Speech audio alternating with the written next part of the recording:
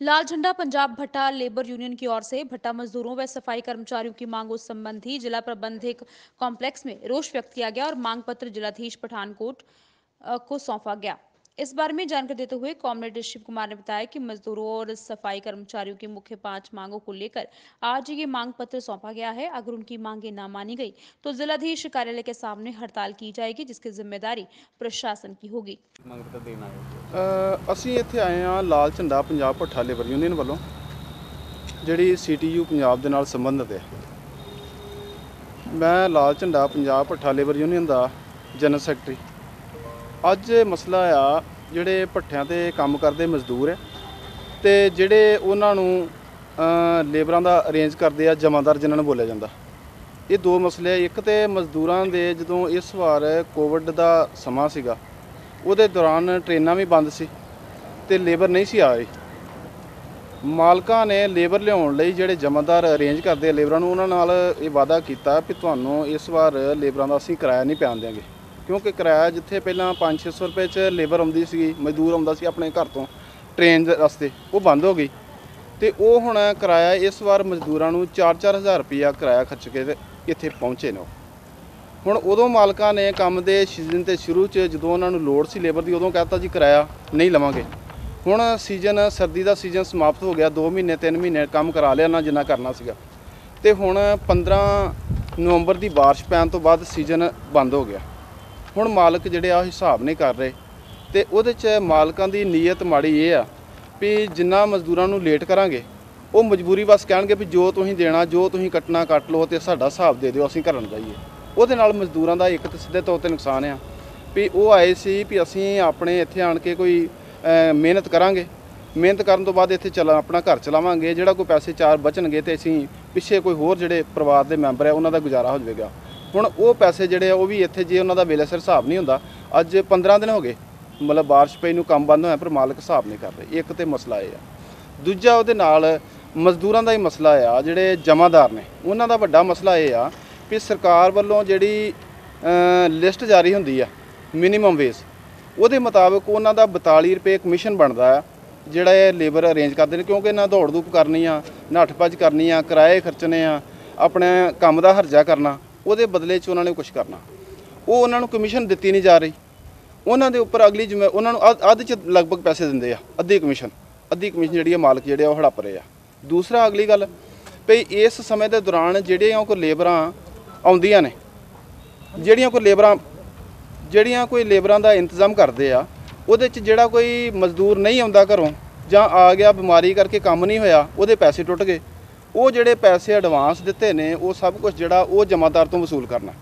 ਉਹਦੀ ਜ਼ਿੰਮੇਵਾਰੀ ਉਹਦੇ ਤੇ, ਪਰ ਉਹਦੇ ਬਦਲੇ ਜਿਹੜੀ ਉਹਨੂੰ ਕਮਿਸ਼ਨ ਦੇਣੀ ਆ, ਉਹ ਨਹੀਂ ਦੇ ਰਹੇ। ਇੱਕ ਤਾਂ ਮਸਲਾ ਇਹ ਆ, ਉਹਦੇ ਚ ਇਸ ਸਪਸ਼ਟ ਹੈ, ਅੱਜ ਸਾਰੇ ਜਮਾਦਾਰ ਆਏ ਆ। ਇਹ ਸਾਡੇ ਸਾਰੇ ਮਤਲਬ ਲ- ਲਾਲ ਝੰਡਾ ਪੰਜਾਬ ਪੱਠਾ ਲੇਬਰ ਯੂਨੀਅਨ ਦੇ ਮੈਂਬਰ ਨੇ ਪਿਛਲੇ ਸਮੇਂ ਤੋਂ।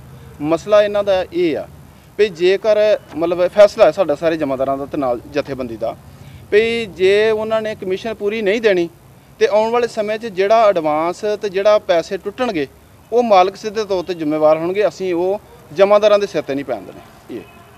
ਤੀਜੀ ਮੰਗਿਆ ਨਾਲ ਵੀ ਮਤਲਬ ਬਿਜਲੀ ਦਾ ਬਿੱਲ 8-10 ਵਾਟ ਦਾ ਦੋ ਦੋ ਬਲਬ ਜਗਾ ਰਹੇ ਨੇ ਮਜ਼ਦੂਰ ਭੱਠਿਆਂ ਦੇ ਉੱਪਰ। ਤੇ ਉਹ 2-3 ਘੰਟੇ ਲਈ ਜਗਾਉਂਦੇ ਆ। ਸੀਐਫਐਲ ਬਲਬ ਆ। ਤੇ ਉਹ ਮਤਲਬ ਜੇ ਮਤਲਬ ਬਿਜਲੀ ਬੋਰਡ ਦੇ ਅਧਿਕਾਰੀ ਆ, ਅਸੀਂ ਕਹਿੰਦੇ ਆ ਵੀ ਜਿਹੜੇ ਟੈਕਨੀਕਲ ਅਧਿਕਾਰੀ ਆ ਜੇਈ ਐਸਡੀਓ ਉਹਨਾਂ ਦੀ ਕਮੇਟੀ ਬਣਾਓ। ਉਹ ਇਨਕੁਆਇਰੀ ਕਰੇ ਵੀ 8-10 ਵਾਟ ਦੇ ਜੋ ਜਿਹੜੇ ਦੋ ਬਲਬ ਆ ਉਹਨਾਂ ਦੀ ਬਿਜਲੀ ਕਿੰਨੀ ਬਣਦੀ ਆ? ਜੇ ਬੜਾ ਵੀ ਉਹ ਕੋਸ਼ਿਸ਼ ਕਰਨ ਤੇ ਮੈਕਸਿਮਮ 200 ਰੁਪਏ ਤੋਂ ਵੱਧ ਨਹੀਂ ਬਣਨੀ। ਤੇ ਉਹ, ਉਹਦੇ ਬਜਾਏ ਉਹਨਾਂ ਕੋਲ 2500 3000 ਰੁਪਈਆ ਵਸੂਲਿਆ ਜਾ ਰਿਹਾ, ਜਿਹੜੀ ਭੱਠਿਆਂ ਦੇ ਉੱਪਰ ਮਾਲਕਾਂ ਨੇ ਆਪਣੇ ਦਫ਼ਤਰ 'ਚ ਏਸੀ ਲਾਏ ਆ, ਉਹਦਾ ਬਿੱਲ ਵੀ ਮਜ਼ਦੂਰਾਂ ਤੋਂ ਵਸੂਲਣ ਦੇ ਆ।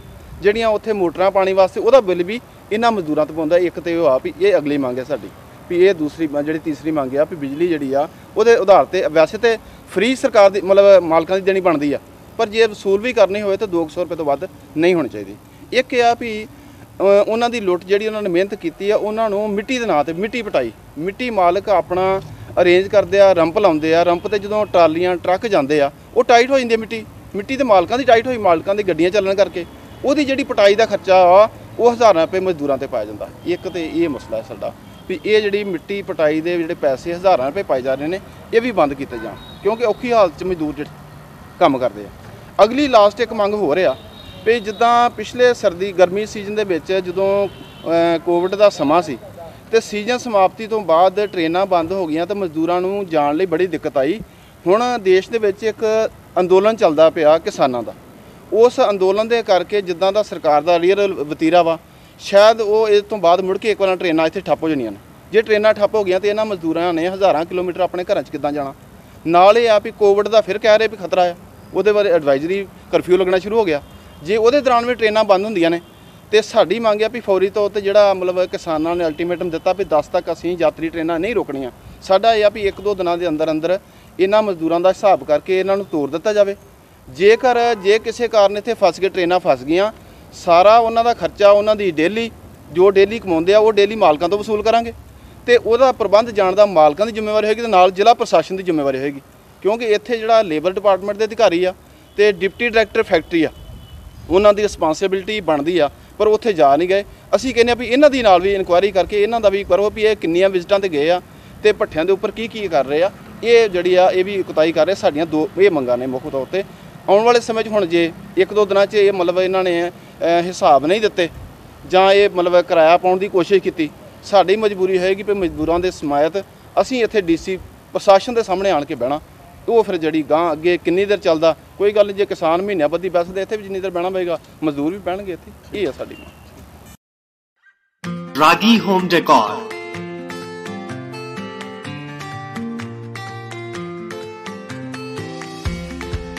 Give your home, offices, interior and exterior walls, ceiling, furniture, and door panel an elegant look.